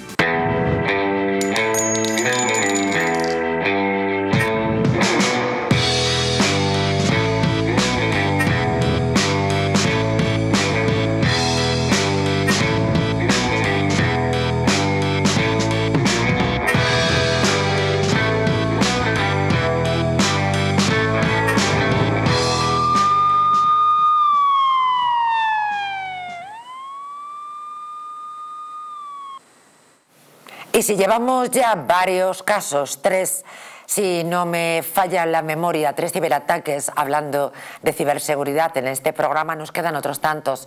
Recordarles también que queremos hablar de, de la ciberguerra, de cuando la guerra también puede tener lugar Precisamente en la red, allí está en ocasiones el campo de batalla. Ucrania es el caso que hemos rescatado en el día de hoy. Pero antes de abordar estos y otros asuntos, como el de eh, Europa tan reciente, ¿verdad? Para todos nuestros telespectadores. Nos quedábamos justo en ese impasse de la publicidad con Serafín Giraldo y nos explicaba esta, este ciberdelito, ¿no? Sí, porque hablábamos de, estamos hablando de ciberdelito, pero no de ciberdelincuente, es decir, hablamos de delitos, pero ¿quiénes son los delincuentes? Llamativo el caso que comentábamos antes, el caso de Badajoz. Unos niños, unos niños con conocimientos de informática consiguen cometer un ciberdelito cogieron la cara, todo lo conocemos, además fue público, le pusieron un cuerpo y evidentemente cometieron uno u otro delito. La verdad es que es increíble quién puede estar detrás. Evidentemente estos niños estaban al alcance de las fuerzas y cuerpos de seguridad, fueron detenidos de forma inmediata. El problema es cuando no son niños. Ese es el verdadero problema que tenemos con este tipo de delincuencia, que no sabemos quiénes pueden ser y quiénes están detrás. Y sobre todo lo que vengo diciendo ya por tercera vez es imposible cazarlos cuando están en otros países y sobre todo en países del tercer mundo. Muchísimas gracias, Serafín. Hoy Serafín abandona nuestra, nuestra mesa un poquito antes de finalizar el programa. Tenemos una mesa que entran y que salen invitados, una mesa enormemente dinámica en el día de hoy. Si hablamos de ciberataques, inolvidable, ¿verdad? El que sufrió la compañía, la aerolínea Air Europa por cierto, no fue la primera. Llamó poderosamente la atención porque el susto fue tremendo. Eh, pidieron a todos sus clientes que por favor eh, dieran de baja anularan sus tarjetas. Nuevamente, en este caso, la aerolínea explicó que el hackeo había afectado al sistema de pagos online y que mm, habría permitido a los ciberdelincuentes extraer los datos de las tarjetas de crédito. Una vez más, ¿de qué estamos hablando, Gabriel Araujo? De datos. O sea, la madre del cordero de toda eh, la ciberdelincuencia y de todo el ciberdelito son los datos. Los datos es lo más importante, evidentemente esos datos además después se venden en la deep web, en la parte de la, de la web profunda que normalmente no es navegable por los usuarios estándares y ahí se venden, eh, se venden esos datos, se venden pasaporte. El pasaporte español ahora cuesta menos de 3.000 euros comprarlo, falso, ¿no? En la deep web. Y si utilizan estos datos precisamente, estas fotografías, estos DNI, estos nombres de apellido, direcciones, para precisamente falsificar esos DNI y esos pasaportes. Lamentablemente, como digo, la ciberdelincuencia no para de crecer. Y en nuestro ánimo de ejercer pedagogía para intentar entender cómo suceden las cosas, se quedaron con los datos. Pero esto, ¿cómo fue esa alteración fraudulenta del proceso de pago? Habría permitido a los ciberdelincuentes extraer esos datos de las tarjetas de crédito de los clientes. Ojo, número de las tarjetas, fechas de caducidad y el CVV, que ya saben ustedes que es importantísimo, es lo que nos sirve al final para, para terminar operaciones. Según la compañía dice, decía que no hay constancia de que la filtración haya terminado utilizándose para cometer ningún fraude. Pero ojo, y aquí es importante, Carlos eh, Barret, recordar nuevamente qué pasa con este tráfico de datos y que muchísimas veces nosotros no somos conscientes de que esto haya sucedido. Bueno, entiendo que el tráfico de datos cuando es para estafar le interesa mucho a mis compañeros, pero también me interesa a mí por la otra parte que no es negativa sino positiva. Por ejemplo, eh, sé que aquí hace muy poco habéis abordado el asunto de Caroline del Valle. Sí, en este programa. La madre Isabel Movilla. Pues yo soy el investigador del caso. Eh, en esta cuestión yo te puedo decir que desde primera hora nosotros nos hemos, nos hemos basado en las fuentes abiertas. O sea, ha pasado, han pasado ocho años, ha pasado el tiempo, no tenemos imágenes de cámaras porque se han sobrescrito, no tenemos una posible triangulación de móviles, pero sí tenemos una huella digital de cada persona que han estado en contacto con esa niña que nos están dando datos a día de hoy que sí pueden ser útiles. Entonces, el tráfico de datos puede ser negativo y puede ser positivo según como tú lo, lo utilices.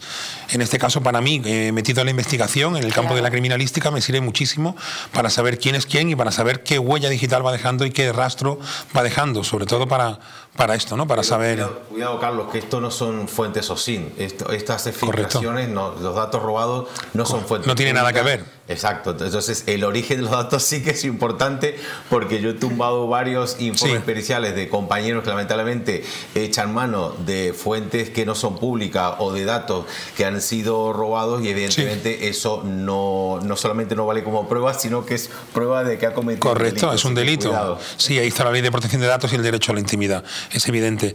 Lo que pasa es que tenemos que ver eh, que el ámbito es diferente. Una cosa es buscar una información, como estamos hablando, para intentar saber de y otra cosa es utilizar esa información o, o publicarla en redes sociales, que siempre también sería un delito. Si me permiten seguir dando información, como decía Serafín Giraldo, ojalá todos los medios de comunicación abundaran, ¿verdad?, en este asunto en el que hoy estamos trabajando y también pudieran dar información a los telespectadores, a los usuarios, a los ciudadanos para que se protejan. Eh, abundando en el, en el ciberataque de Ere Europa, se dieron y se facilitaron una serie de recomendaciones a seguir. Facilitar información personal, no facilitar el PIN, el nombre o cualquier otro dato personal a través de teléfono, mensaje o email, incluso cuando se identifiquen como su entidad bancaria. bancaria. También se aconseja no pinchar enlaces que le avisen de operaciones fraudulentas y ponerse en contacto directo, directo con su entidad bancaria por medios constatables. Y precisamente mm, de este caso también hemos hablado anteriormente en nuestro programa y hoy he vuelto a citar esos enlaces de bancos tan conocidos como el propio Banco de Santander, donde pues eh, el usuario, si no hubiera sido una persona evidentemente eh, previsora y no dejarse llevar por las prisas, probablemente hubieran cometido con él una estafa, porque por esta idea de pinchar un enlace de manera rápida. Ricardo Mulchi, como consultor eh, cloud, naturalmente él también conoce sobre este asunto, ¿verdad? Eh, sí, la verdad es que es muy sonado. De hecho, yo soy víctima de este, de este caso. ¿Te ha sucedido? Me ha sucedido a mí, sí. Y me parece un caso muy, muy grave. No simplemente porque se hayan filtrado la información personal de los clientes, que eso ya es muy grave, sino porque Europa nunca debería almacenar el CVV de los clientes. ¿Para qué lo quiere? Porque es un dato que tiene que guardar Europa. que además es muy importante. Está detrás de las tarjetas, es el supongo que... más importante para cometer fraude a, través de, a través de Internet. Y lo que hacen muchas compañías es ese dato simplemente no lo recogen o lo ponen en una base de datos temporal que, va, que desaparece rápido. ¿no? Entonces, que ellos almacenen este dato y que encima no ponga la protección suficiente para que esos datos estén seguros, a mí me parece algo gravísimo y luego mandar un email a miles de personas diciendo que te tienen que cambiar su tarjeta, que tal, eso es un daño reputacional muy grande y además me parece que es un asunto bastante serio. Es que en realidad ningún, ningún dato de ninguna tarjeta tienen que, que almacenar ellos porque eso el pago es a través de las pasarelas de pago, estas plataformas electrónicas especializadas en el comercio electrónico y evidentemente ahí es una gravísima transgresión de la ley de protección de datos porque Europa no es una pasarela de pago, no es una plataforma de, de, pago. O sea que muy bien traído Ricardo, sinceramente, este, este concepto porque de esto no se está hablando, lo que acabas de decir tú y esto es, es realmente importantísimo. ¿no? De hecho, por ejemplo, hay pasarelas de pago muy famosas, por ejemplo Stripe, que lo utilizan muchos e-commerce y muchas empresas, que por política no guarda ese, ese código. ¿no? Entonces habría que entender por qué Europa sí que lo, sí que lo ha guardado. Todas las entidades financieras están eh, regidas por el, las normas de compliance, IPA en este caso, en el tema de, de, las, de las tarjetas, y precisamente esto lo ha pasado a Europa porque no cumple esa norma de, compliance, ¿no? esa norma, norma de cumplimiento. Por eso se ha reformado el NIS 2, que es esta eh, directiva europea precisamente para poner coto a este tipo de cosas y eh, respetar ese principio de eh, mínima transmisión de datos. Bueno, pues... Em, que se lo tome en serio Europa, porque, repito, no era el primer ciberataque que ha sufrido la compañía y, en consecuencia, sus clientes. Y seguimos con ciberataques, con ciberguerra, con cibercrimen. Les decía, en los últimos tiempos y en el futuro la guerra también se puede gestar en un campo de batalla que es curiosamente, la red bajo el paraguas de la ciberguerra, que sabemos que no es lo mismo que ciberataque, bajo esta idea entran muchos elementos que hoy queremos analizar, ya que los enfrentamientos bélicos actuales y futuros, la tecnología interviene de muchas maneras.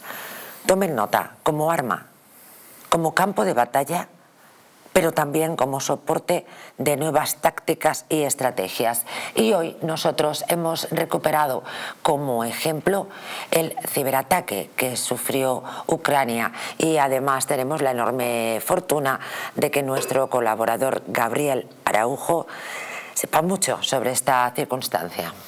Bueno, sí, pues soy eh, de la Asociación de Investigadores Digitales de Europa y en este contexto eh, nos eh, han llegado muchísimos archivos para estudiar, ¿no? De cómo es posible que hayan penetrado, por ejemplo, en toda la agrupación militar de, Ucrania. Esto no nos ponemos ni de un lado ni de otro, porque aquí han utilizado lo que se la llama la guerra híbrida, tanto Ucrania como Rusia. Ucrania también atacó a Rusia. Recuerdo la Oficina de Expedición de Pasaportes de Rusia que se vio completamente colapsada por un ataque y en este caso eh, se pudo penetrar en, la, en, las fuerzas militares a través de una hoja de cálculo que tenía una, una macro que se llama, que es un script, en lo cual eh, era una hoja de cálculo que lo que hacía era calcular para que el ejército ucraniano pudiera saber cuánto iba a cobrar al fin de mes. Entonces utilizaban esta hoja de cálculo y ahí tenía un script que tenía un malware y lamentablemente ese, ese fue el vector de entrada y ha sido completamente penetrado todo el sistema militar ucraniano a partir de una simple hoja de cálculo. Carlos. Bueno, el tema de los malware lo llevo muy de cerca por las estafas de mis clientes, evidentemente, pero veo que se magnifica muchísimo cuando hablamos de guerra. Evidentemente también es, es una forma de entrar eh, por la puerta de atrás, bajo mi concepto de, de, lo que es un ataque, y creo que es, es bastante significativo. A mí me, me, parece muy, muy curioso. Los análisis también recuerdan un poco a la eh, nutrida historia de ataques ¿no? que ha sufrido eh, Ucrania en los últimos años sin tener evidencias, pero como sospechosos a Rusia, ¿no? Es que este tema, no es el primero. Es que el tema de la, de la guerra híbrida, esta, la parte de la ciberguerra, es muy importante porque a lo mejor en el terreno puede estar perdiendo un bando, pero en este otro, en el ciberespacio, le está, le está ganando el otro. ¿Por qué? Porque puede eh, tumbar todas las líneas de comunicación, los trenes, los autobuses, todo el sistema los Bancos, los bancos, las cajas de ahorros de Ucrania Exacto. totalmente afectadas. Sin mover ni un solo tanque. Claro, son además, claro, son sistemáticamente importantes y por tanto, bueno, además psicológicamente. Y lo que decía Ricardo antes, la reputación, la reputación de un ataque ese. No, o sea, yo creo que la ciberguerra no es solo una parte de la guerra, sino que diría que es buena parte de la guerra actualmente porque hoy en día un buen ciberataque puede hacer incluso más daño que cualquier misil, salvo la bomba atómica.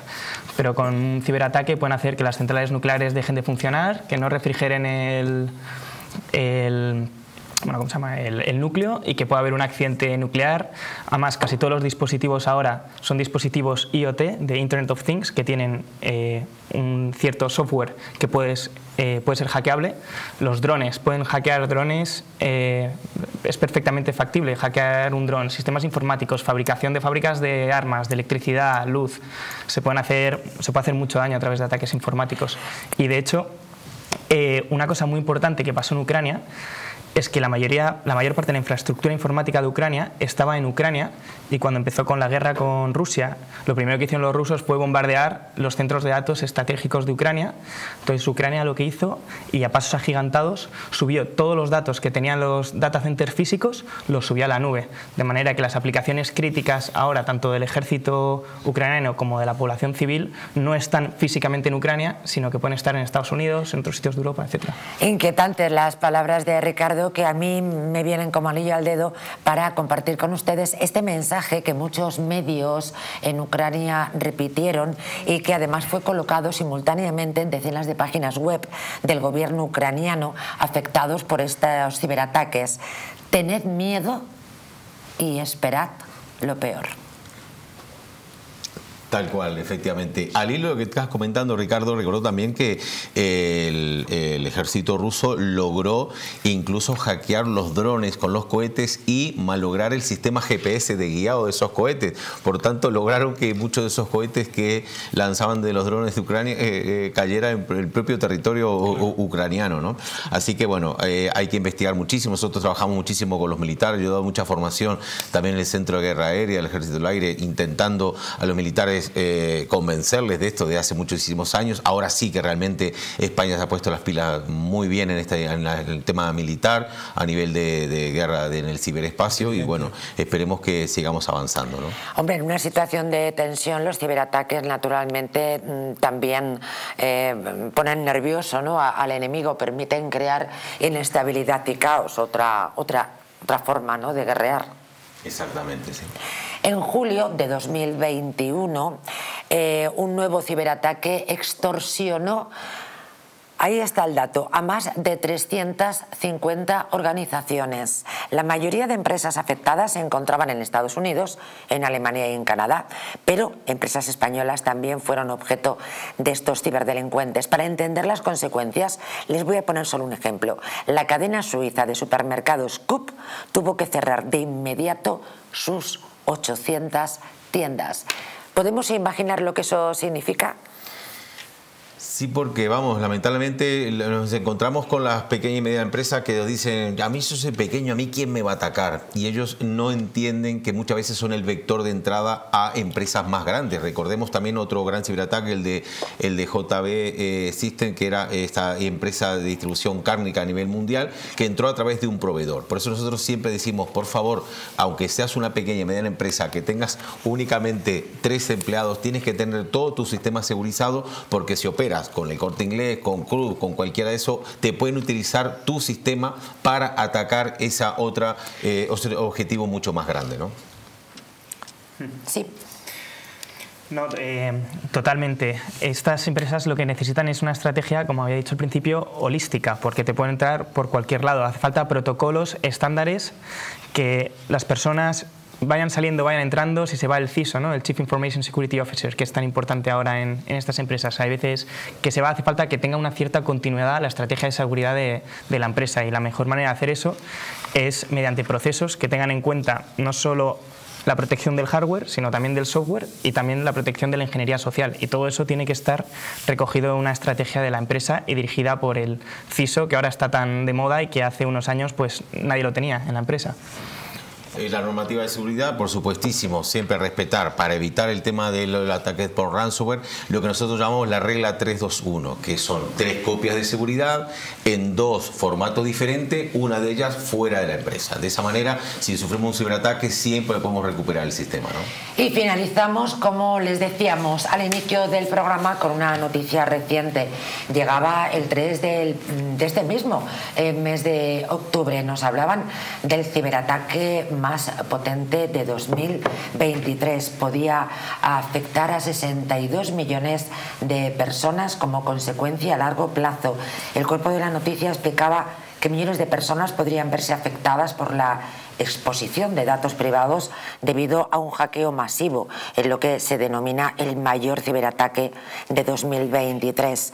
Y expertos advierten que en estos próximos meses es posible que decenas de millones de personas se encuentren con una sorpresa, la exposición de información privada. Y lo que es peor, que quizá mm, no se den cuenta y tampoco valoren el riesgo que están teniendo. ¿Esto qué significa? ¿Qué es el mayor hackeo de 2023? A mí me ha parecido inquietante. Wikileaks. Más o menos, ¿no? A ver, eh, lo, que, lo que realmente es importante, eh, aquí es que somos todos importantes en el tema de, la, eh, en la lucha contra la ciberdelincuencia. De la misma manera que, aunque yo no tenga carne de conducir, me sé la regla de tráfico y sé que con la roja no tengo que cruzar y sé que hay un stop y un cede al paso. No, no, y te, y te juegas el tipo porque puede ser atropellado. Pero en el tema de la ciberdelincuencia también, el tema de ciberataques, todos somos personas importantes. De nada sirve que tú tengas perfectamente tu teléfono actualizado de la última versión, de software, con tu antivirus, si yo no lo tengo. ¿Por qué? Porque yo tengo tu teléfono, a ti no te van a, hacer te van a, ciberatacar, pero a mí sí y van a tener tu dato. Por eso todos somos importantes, todos tenemos que tener una absoluta conciencia de la importancia que tiene de ser ciberresilientes, ¿no? que es lo que se llama ahora. Totalmente de acuerdo con Gabriel, yo creo que ha dado en la clave, porque con los delitos tradicionales, normalmente una de las maneras de evitar que se cometa un delito es la amenaza de, oye, vas a ir a la cárcel si haces esto. Pero hoy en día, como, como ha comentado también antes Serafín, encontrar al causante del ciberataque es muy muy difícil. Se pueden poner un VPN y decir que están en Perú y en verdad ellos están en China y es, es muy difícil encontrarles. Entonces, la gente que delinque tiene esa seguridad de decir, oye, no pierdo nada por intentarlo. ¿no? Y, la única manera de, de, poder solucionar esto al final es mediante la prevención y siendo cada uno responsable de, de, los datos y la empresa responsable de los datos de sus clientes e invertir en seguridad, que es costoso, pero que al final merece la pena. Hablábamos de datos encriptados. Al final y terminando este programa tenemos una enorme sensación de estar viviendo ya una ciencia ficción, ¿no, Carlos? Decíamos antes, esto, esto es Matrix. Bueno, a ver, eh, lo que compete a mi profesión, eh, por ejemplo, lo puedo comparar, como han dicho ellos, el tráfico de datos. Tú, por ejemplo, eh, te están investigando y tú tienes el teléfono pinchado. Tú puedes cambiar de teléfono, pero aunque cambies de teléfono te sigues contactando con tus contactos habituales. Por lo tanto, siempre van a obtener esa información tuya. Se va a retrotraer esa información. Al final, por mucho que tú quieras cambiar ese número de teléfono si te están investigando, tu círculo también tiene que cambiarlo, porque al final siempre ese círculo se va cerrando. Es tontería. Entonces, dentro de esos programas que hay, que te pueden filtrar la información, al final es la prevención, ¿no? lo comparo, haciendo una comparación, mucha menos magnitud, evidentemente, pero es exactamente igual. ¿Qué nos depara el futuro? Pues el futuro inmediato futuro inmediato es poco alentador. Yo siento ser portador de malas eh, noticias hasta que no tenga, hasta que no cambiemos las contraseñas, esta 1, 2, 3, 4, 5, 6, que te decía al principio, que año tras año es la contraseña nos ha sorprendido, Nos ha sorprendido mucho. Totalmente, es que todos los años es lo mismo. Tenemos que realmente adquirir eh, mayores competencias, mayores formaciones, tenemos que ser, sobre todo, proteger a los más vulnerables, a, a nuestros niños, los menores. Los menores están ya al borde del abuso tecnológico, eso es un gran problema están muchísimo tiempo con terminales que están completamente sin ninguna protección. Ahora mismo un niño o una niña que le da la comunión, le dan un iPhone completamente abierto, un Android, lo que sea, y eso tenemos que cambiarlo. ¿eh? Niños cometiendo ciberdelitos. Y el, chantaje. Y, el, chantaje. El chantaje. Es otro ciberdelito. Yo, por ejemplo, he tenido contrataciones de padres que han sufrido acoso a sus hijos, han sufrido bullying y evidentemente empiezan siempre por el tema digital, o sea, empiezan por los teléfonos móviles. Los niños están muy apegados a su teléfono móvil, no hay un cierto control con ese teléfono móvil para las edades más, más tempranas y al final eh, sufren, eh, digamos, ese bullying al final es un asunto psicológico que, que deriva a muchas causas. Pues al final el común denominador de todas y de cada una de las opiniones es que necesitamos información. En la información está la libertad y en la información también está nuestra propia defensa ante un mundo que sin ninguna duda es inquietante. Esperamos haber servido no solamente de información y entretenimiento, sino también haber hecho una labor divulgativa que les pueda ayudar a entender mejor el mundo en el que vivimos y también a, defenderse de él y a apostar por su seguridad. Como siempre les decimos, vale, contamos historias para no dormir, pero siempre nos vamos haciéndoles soñar. Quiero hablarles de un lugar fabuloso, de un lugar de ensueño. Es el Hotel Las Dunas. Es un lugar mágico en el corazón de la Costa del Sol, en primera línea de mar, situado en un oasis de armonía y tranquilidad, enfocado en la salud y en el bienestar de sus huéspedes. Desconecta del estrés, de la monotonía del día a día y disfruta de fines de semana de relax, estancias con programas exclusivos y absolutamente personalizados de salud, de rejuvenecimiento y también de control del peso, elegancia y bienestar junto al mar, sin renunciar, eso sí, a la actividad y a la vida saludable. Descubre Hotel Las Dunas Health and Spa, el más exclusivo de toda la Costa del Sol. Muchísimas gracias, Gabriel Araujo, por estar con nosotros. Gracias, em, gracias Ricardo Mulchi, primera vez, pero espero que no sea la última. Querido Carlos García Barret, un saludo. También nos han acompañado em, a través de Skype José Luis Quintero Villanova y nuestro querido Serafín Giraldo. Por nuestra parte, nada más. Muchísimas gracias por compartir un nuevo programa con nosotros. Gracias por su atención. Feliz noche.